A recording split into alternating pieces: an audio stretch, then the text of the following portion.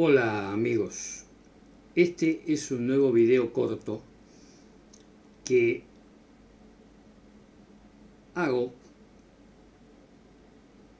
por idea de un suscriptor del canal que me hizo la pregunta.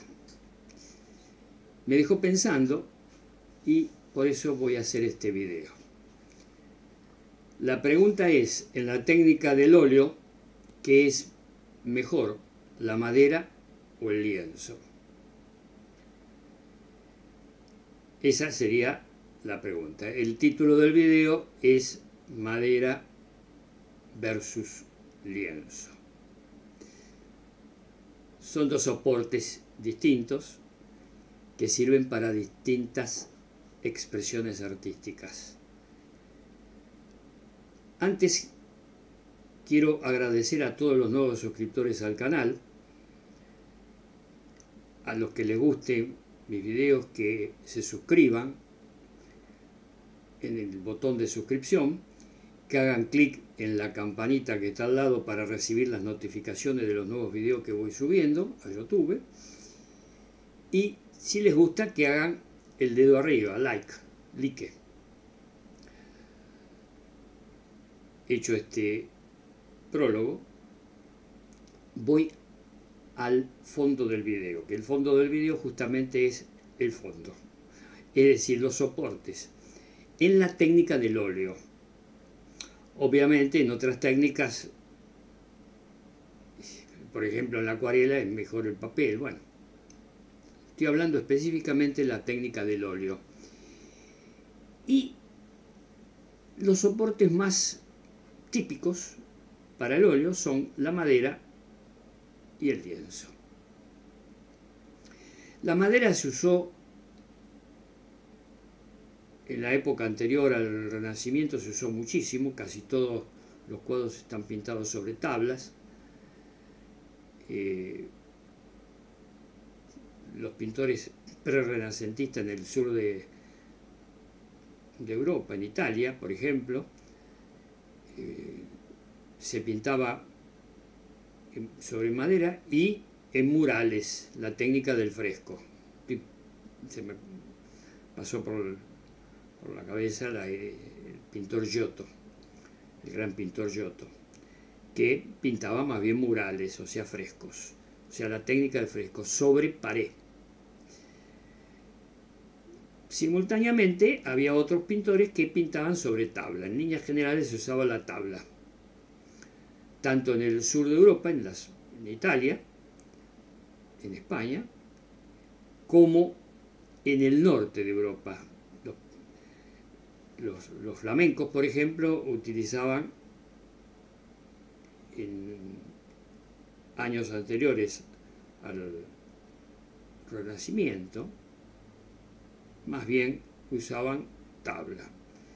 Luego vamos entrando paulatinamente con el invento del óleo, la técnica del óleo que se atribuye a los, a los nórdicos, a los flamencos, a Jan Van Eyck, a los hermanos Van Eyck, se atribuye el, el ya se usaba el óleo, pero ellos lo han llevado a una perfección importante. Y a partir de los hermanos Van Eyck la técnica del óleo se ha extendido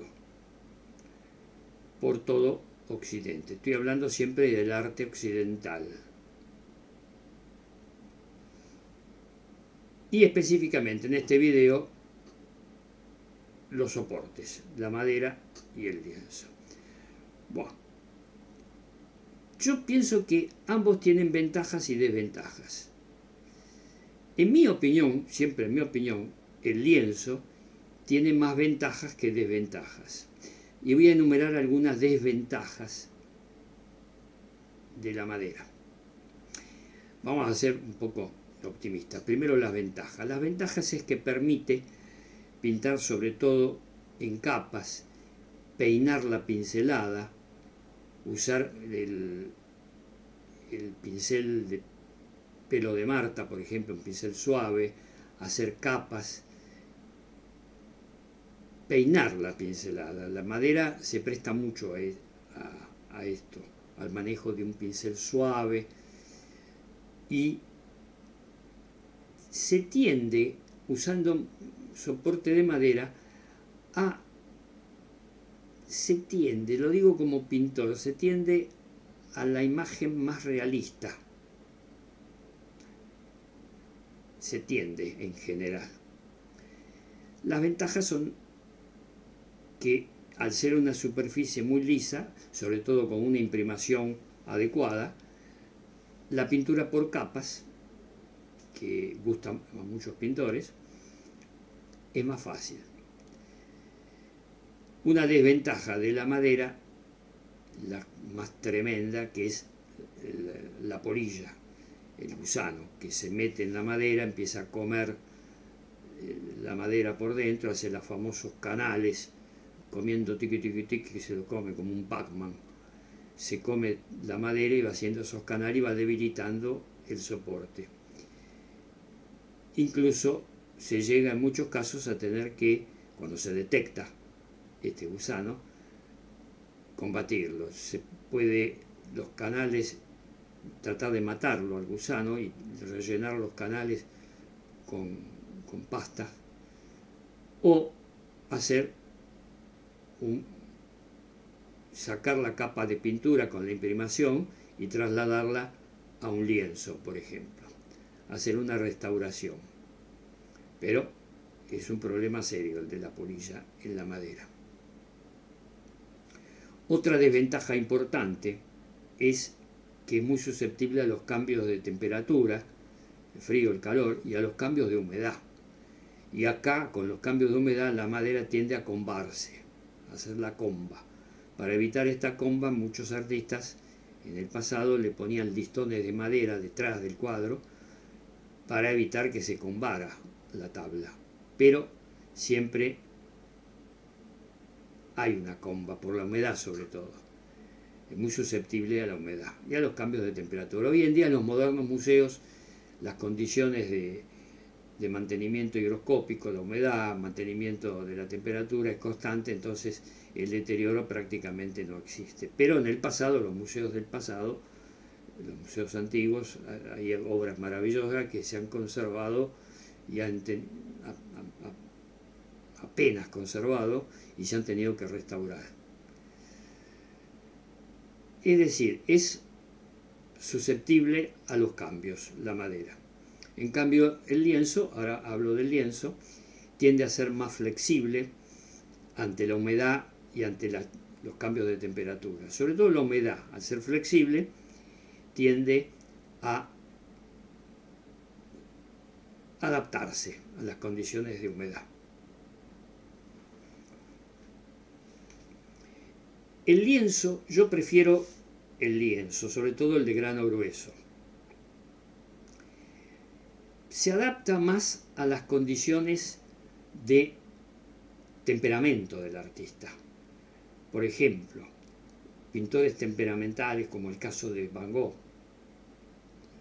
pintar sobre tabla se hace difícil, aun cuando hay pintores expresionistas que han pintado en soportes tiesos, rígidos, el típico caso de Munch, el grito de Munch, que está pintado sobre cartón, es un soporte tieso, y sin embargo es expresionista, temperamental Munch.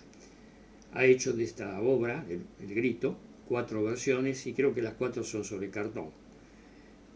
Eh, pero en líneas generales, los pintores temperamentales, así estilo de Van Gogh, tienden o prefieren el lienzo. Además, permite el lienzo usar técnicas de pincel y de, espátula, por ejemplo. El caso que usaba mucho la espátula, en el caso de Cézanne. Paul Cézanne usaba mucho espátula y en general, bueno, pintaba sobre lienzo. Esas son las dos grandes características. La madera permite el peinado de la pintura, trabajar en capas, mientras que el lienzo es más fácil para la espontaneidad del artista. en líneas generales. Y también depende del gusto de cada pintor. Yo, reitero, prefiero el lienzo, sobre todo el de grano grueso. Se adapta más a mi forma de expresar. El tema de la terminación de los cuadros, el barnizado, en ambos casos, con ambos soportes se puede realizar de una manera adecuada el barnizado, ya sea en la madera o ya sea en el lienzo. En la época actual, con las tecnologías que se usan, por ejemplo, para imprimaciones ya sea de lienzo o de tabla, se usan antifúngicos, o sea, antihongos, se le ponen a la imprimación. Y la preservación de la obra tiende en ambos soportes a ser más fácil hoy en día, con las técnicas actuales. Un problema que había, voy a mencionar a un pintor, muy buen pintor, pintor galante, Guató, que tenía un problema serio y es que el aglutinante que usaba, o el óleo, era demasiado. Incluso limpiaba los pinceles, en lugar de usar aguarrás, usaba, los limpiaba con óleo, con aceite, más óleo todavía. Los cuadros de Bateau tienden a oscurecerse muchísimo y a agrietarse, independientemente del soporte, la madera o el lienzo. Y eso se debe al aglutinante, al exceso de aceite es un grave error, ya sea sobre lienzo o sobre tabla, el exceso de aceite. Tiende a oscurecer la obra y a agrietarla, incluso sobre tabla, sobre madera. Ese es el otro problema, las técnicas de los aglutinantes del óleo. Pero el soporte en sí mismo hoy en día es cuestión de gusto. La mayoría de los pintores se me ocurre que eligen el lienzo por el hecho de ser más flexible y más adaptable al temperamento. Pero sigue habiendo pintores que usan soportes rígidos, sobre todo el aglomerado de madera, o sea, pasta de madera aplastada, y se hace este aglomerado, que tiende a reemplazar a la tabla de madera o sea, la madera, madera, no aglomerado, no pasta de madera. La madera en tabla todavía algunos pintores la usan, pero es cuestión de gustos, es cuestión de que cada artista elija el soporte que prefiera. Ambos tienen ventajas y desventajas. Y se adecua cada soporte al gusto y a la forma de expresarse de cada artista. Es decir, es cuestión de gustos de cada pintor. Yo veo demasiada debilidad en las tablas de madera. En las tablas veo debilidad para preservar la obra a lo largo del tiempo. Pero hoy en día en los modernos museos el tema está que no todas las obras se conservan en museos. Las colecciones particulares, los, los mismos pintores que guardan sus obras, no están en condiciones óptimas, ya sea de temperatura o de, de temperatura constante o de humedad constante. No siempre eso sucede. El lienzo es más flexible, más adaptable. Yo les pido a aquellos que vean el video que hagan comentarios y que me pongan qué prefieren, si es la madera o el lienzo. La opinión de cada uno y sus gustos. Ambos tienen, como dije de manera constante a lo largo de este video, ventajas y desventajas. Y terminamos en cuestión de gustos de cada artista. Amigos, espero ser útil con estos videos cortos que complementan los videos largos. En estos videos cortos trato de puntualizar de manera muy específica algún tema.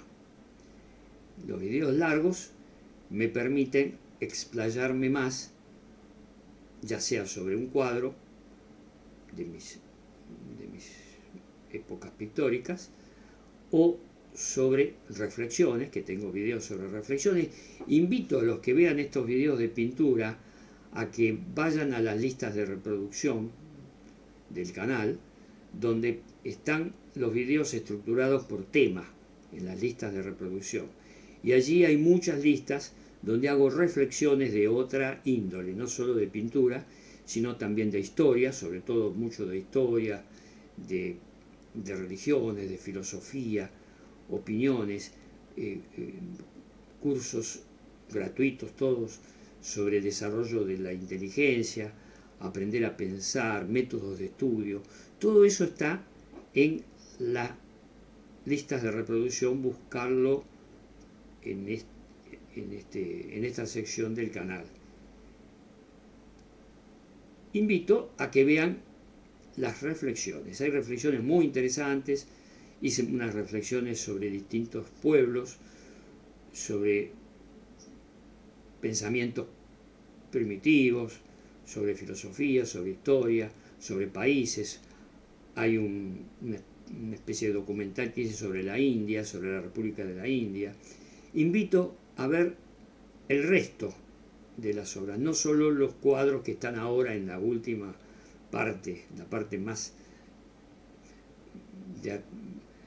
la primera parte que aparece del canal son cuadros y reflexiones sobre cuadros, pero también bajando la, barra para abajo, poniendo en la sección video, aparecen todos los videos y en la sección lista de reproducción por temas. Aparecen muchas reflexiones sobre otros temas. Invito a ver esos otros temas que complementan también la parte artística, ya que son reflexiones de ciencias de filosofías, de religiones y de temas muy, muy interesantes.